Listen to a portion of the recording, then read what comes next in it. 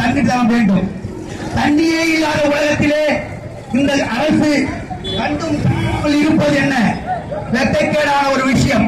தண்ணி கேட்டு போராடி வீதியிலே போராடும் மக்களுக்கு குடிக்க தண்ணி குடு தண்ணி குடு தண்ணி குடு என்று தமிழ போராளி மருத்துவர் அன்புமணி ராமதாஸ் அவர்கள் தருமபுரியிலே ஒரு பள்ளியை வைத்து தண்ணிக்கு போராடினார். ஏனென்று கேட்டால் தமிழ்நாட்டிலே தண்ணிக்காக வரலாமா?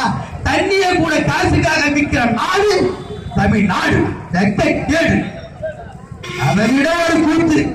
விவசாயத்துல இப்ப அதிகாரிகள் அதுக்கு துணையா பயந்துக்கிட்டு பதவி போடுறது பதவிங்கிறது கிடைக்குது. இதான் நடக்குது. இதுக்கு உதாரணமா ஒண்ணு சொல்றேன். கடந்த பத்து ஆண்டுக்கு முன்னாடி ஒரு நிலவரத்தில் நான் ஒரு சேர்மன் முறையில் இருக்கும்போது மாவட்ட ஆட்சியரகத்துல ஒரு கருத்து கேட்பு கூட்டத்துல ஒரு செய்தியை படி எப்பயுமே வேடிக்கை பார்க்கறதே வேலையா போச்சு. ஏன்னு கேட்டாக்கா வேடிக்கை பார்த்துட்டு நூறு இருநூறு எவன் கொடுக்குறானோ அவனுக்கு ஓட்டு போட்டு போயிடுறாங்க. இன்னைக்கு எல்லா இடத்துலயும் தண்ணி பிரச்சனை. இதுக்காக யாருன்னா போராடுறானா? யாரும் கிடையாது. இந்த தண்ணி எப்படி ஏன் வரல? எதுக்காக வரல?